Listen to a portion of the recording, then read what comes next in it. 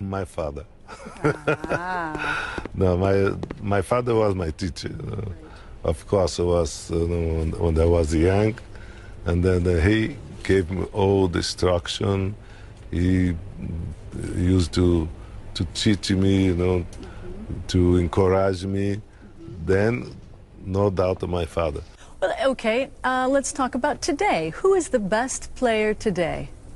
Today, I think it's no doubt is Messi. And could he is, uh, eventually be one of the best players of all time? Yeah, he is is the one who has a has chance to be.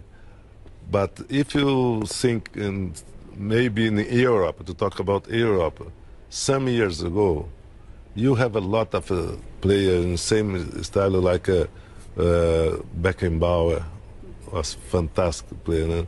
No? Who, who, who have uh, Di Stefano, who was Argentine who played in Real Madrid. From Argentina, we have a Maradona. But in this moment, this moment, I think Messi is the best.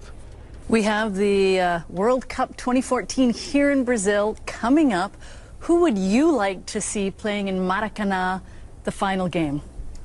Listen, uh, if I was God, And some people say you are. I,